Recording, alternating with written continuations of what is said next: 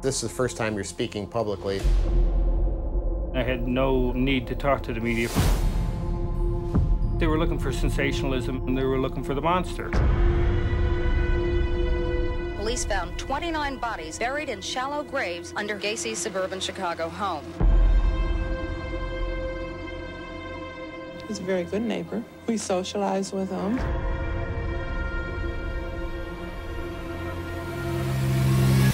Gacy was well respected in his community and even dressed up as a clown to entertain children. He said to me, clowns can get away with murder. Gacy was convicted of murdering more people than anyone else in U.S. history. It had nothing to do with the bodies. The dead won't bother you. It's the living you gotta worry about.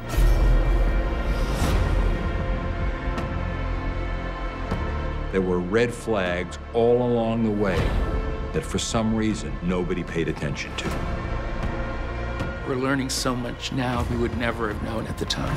Could Gacy have done this alone? Maybe there's a cover up here.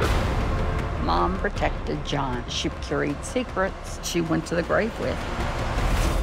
The thing everybody thought they knew wasn't the whole story.